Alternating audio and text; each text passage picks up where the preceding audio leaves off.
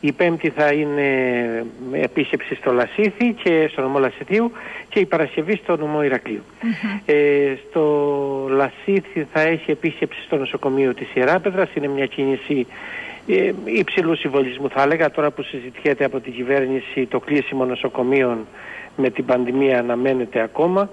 Ε, με αυτήν την έννοια θα αναπτύξει και τις θέσεις του κόμματος συνολικά για την υγεία αλλά και πιο συγκεκριμένα για όλα αυτά τα ζητήματα που απασχολούν την πανδημία το τελευταίο διάστημα.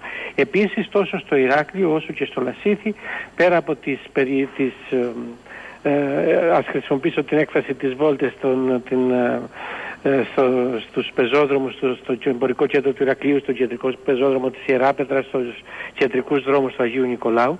Πέρα από αυτά θα έχει συναντήσεις επίσης υψηλού συμβολισμού με τους εκπροσώπους ε, φορέων των παραγωγικών δυνάμεων τόσο στο νομό Λασιθίου όσο και στο νομό Ηρακλείου.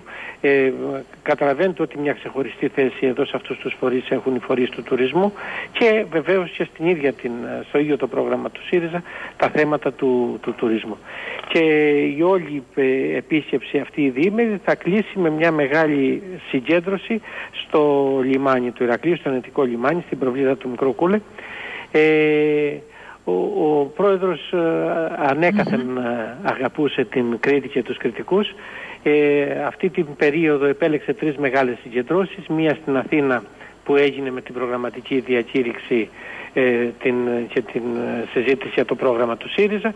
Μία χθες επιτυχημένη μεγάλη συγκέντρωση στη Θεσσαλονίκη και μία θα γίνει αυτήν, για αυτήν την περίοδο στο Ηράκλειο της Κρήτης. Μάλιστα, η οικονομία και η υγεία ευάλωτοι τομεί αυτή την ώρα, ευαίσθητοι τομεί αυτή την ώρα, έτσι όπως τα βιώνει ο καθένας από εμάς, κύριε Γουμενίδη. Ακριβώς, ακριβώς. Και σε αυτά, σε αυτά θέλει να επικεντρωθεί και σε αυτά είναι και ο συμβολισμός που εκπέμπουν οι συναντήσεις που Μάλιστα. θα κάνει. Να αφήσω την οικονομία για να σταματήσω λίγο στο κομμάτι της υγείας, γιατί είσαστε και γιατρός και νομίζω ότι μ, περιμένατε ότι μ, το ερώτημα θα το έθετα και δεν θα το απέφευγα.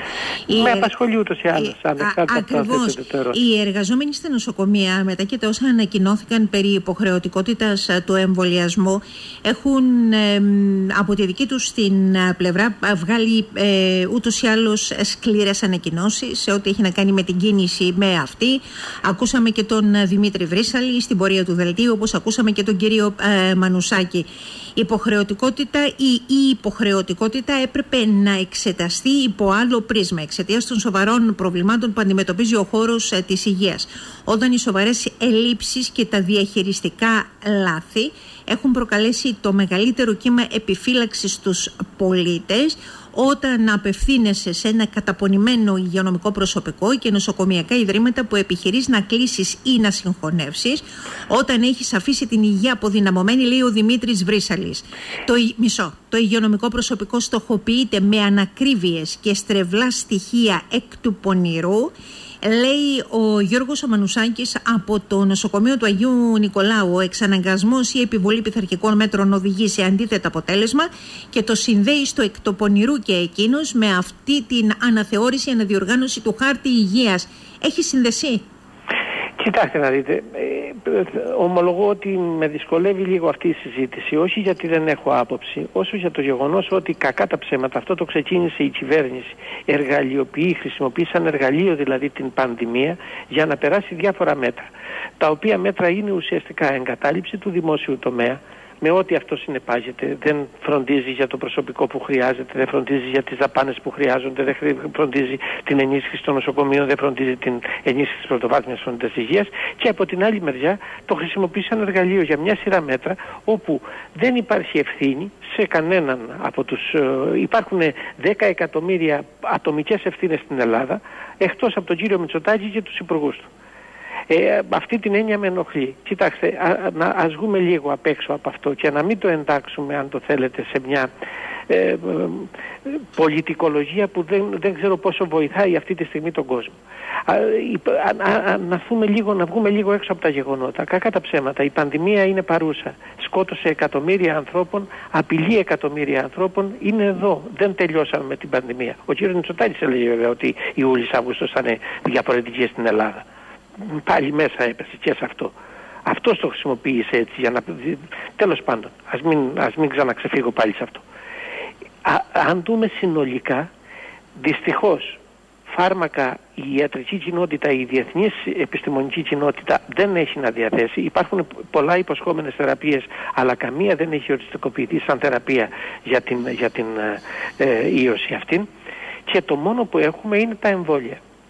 Κακά τα ψέματα, χρειάζεται μια μεγάλη κινητοποίηση, χρειάζεται να εξηγήσουμε στον κόσμο, αυτό είναι το όπλο μας και αν το θέλετε το εμβόλιο είναι η ανταμοιβή μας.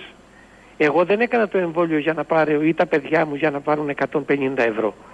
Εγώ δεν έκανα το εμβόλιο για να έχω φτηνότερο ειστήριο στα μέσα, στα μέσα μεταφοράς. Έκανα το εμβόλιο και ζητώ από τον κόσμο να εμβολιαστεί και, ο, και προσωπικά και το κόμμα μας ζητάει από τον κόσμο να εμβολιαστεί γιατί αν εμβολιαστούμε έχουμε λιγότερες πιθανότητες να νοσήσουμε. Γιατί αν νοσήσουμε έχουμε περισσότερες πιθανότητες να το περάσουμε ελαφριά. Γιατί έχουμε λιγότερες πιθανότητες να μεταδώσουμε τον ιό σε άλλους ανθρώπους αγαπημένους και μη, με τους οποίους ερχόμαστε σε επαφή. Αυτή είναι και η ανταμοιβή μας από τον εμβολιασμό. Αυτό είναι το μόνο όπλο που έχουμε για να αντιμετωπίσουμε την πανδημία. Αυτή τη στιγμή συζητάμε για τον παραλλαγή Δέλτα, έχουν έρθει και άλλες παραλλαγές, δεν, δεν, δεν θα προλαβαίνουμε σε λίγο τη μια παραλλαγή μετά την άλλη. Το όπλο μας εδώ είναι το εμβόλιο και ο ίδιος ο πρόεδρος του κόμματος, ο κύριος Τσίπρας και όλοι μας καλούμε και εγώ αν το θέλετε και σαν γιατρός δεν είναι διαφορετικό το κουτάκι του. Αλλά... Πρέπει ο κόσμος να εμβολιαστεί. Αλλά παρά τα αυτά λέτε ότι εργαλειοποιείται για να εγκαταλειφθεί ουσιαστικά η δημόσια υγεία. Ακριβώς. Και αυτό είναι απαράδεκτο. φτάνει λοιπόν στο σημείο τελικά το υπέρ ή κατά της πολιτικής της Νέας Δημοκρατίας να εκφράζεται στο υπέρ ή κατά των εμβολίων. Αν είναι δυνατόν.